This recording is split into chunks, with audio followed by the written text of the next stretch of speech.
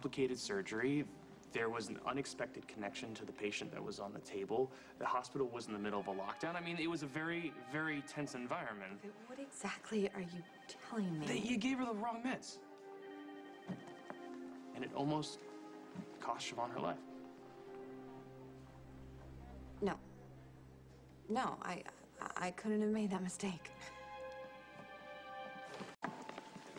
Maybe if we just we step it out, something will come back to you. There's nothing to remember. I know the difference between blue and green. Can you just humor me? Uh, Siobhan was crashed in, the hospital was on lockdown. Yes, chaos was reigning. You were afraid that we were going to run out of supplies before the surgery was over. It's taken a while to locate the bleeder, And then her ICP was increasing. and I ordered the 14 milligrams of the dexamethasone. Yes, and I gave that to her. Right, and then her blood pressure dropped off a cliff. And you thought it was another bleeder. But it wasn't. I didn't give Siobhan the wrong medication. They did an inventory of the OR after the surgery, and the medication that I ordered was never given. But a vial of heparin was used and discarded. Then it was me. I gave her the wrong vial. God, I almost killed Siobhan.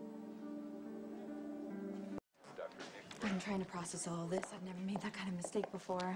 We, it's human.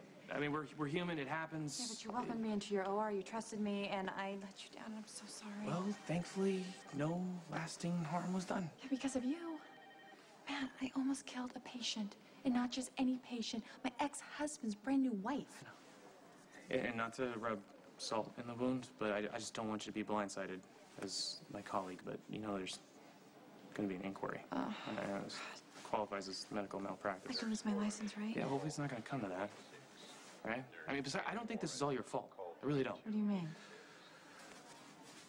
You're still grieving the loss of your son. I can only imagine how tough that is. I think Steve might not have been as objective as he should have Wait, been. Steven? Yeah, I, I think that he was probably acting more as your brother than as chief of staff and ordered you back to work too soon. And, and look, I, I knew your situation, right? And, and I didn't question you and your assignment to my OR. No, no, no, no. This, this is this isn't anybody's fault. I told you both that I was fine, and I honestly thought that I was.